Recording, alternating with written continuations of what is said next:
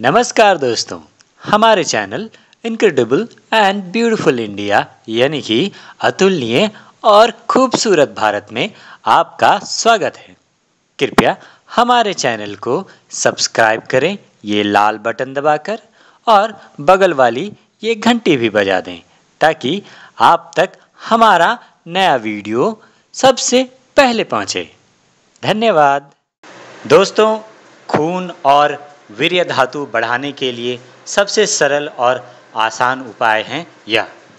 आजकल के स्त्री पुरुष अक्सर ही खून की कमी और ताकत कमज़ोरी से ग्रस्त हैं। पुरुषों में वीर्य धातु की बीमारी आज बहुत बड़ी समस्या बन गई है। ऐसे में आप यह बिल्कुल साधारण सा प्रयोग करके अपने रक्त की कमी और वीर्य की कमी को बड़ी आसानी से दूर कर सकते हैं। इसके लिए आपको चाहिए गन्ने का रस या गुड़, आंवला और शहद। आइए जान लेते हैं कि यह प्रयोग कैसे करना है। दोस्तों, इसका प्रयोग जब गन्ना हो तो गन्ने के रस के साथ, या फिर गन्ना ना हो तो उस समय गुड़ के प्रयोग के साथ करना है। वीर्य धातु को बढ़ाने वाला। हर रोज भोजन के बाद 15 से 20 ग्राम गुड़ को आंवलों के दो से चार ग्राम चूर्ण के साथ सेवन करने से वीर वृद्धि होती है, तथा थकान, रक्तपीत खूनी पित्त जलन, दर्द और मूत्र कच्छ पेशाब करने में कष्ट या जलन होना आदि रोग नष्ट होता है।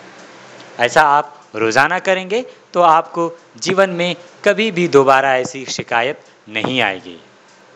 खून की कमी और ताकत बढ़ाने के लिए अगर गन्ने का मौसम हो तो एक गिलास गन्ने के रस में पाँच ग्राम आंवले का रस और पाँच ग्राम शहद मिलाकर पीने से खून की कमी दूर हो जाती है।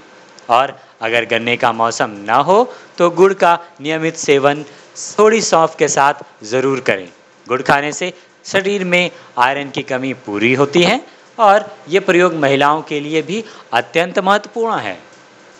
विशेष, अगर किसी को स्टोन की समस्या न हो तो उपरोक्त जूस में गेहूँ के दाने के समान चूना मिलाकर पीने से सिर्फ़ 10 दिन में ऐसा प्रभाव आएगा जैसे शरीर का नव निर्माण हो। चेहरा लाल टमाटर जैसा हो जाएगा। धन्यवाद।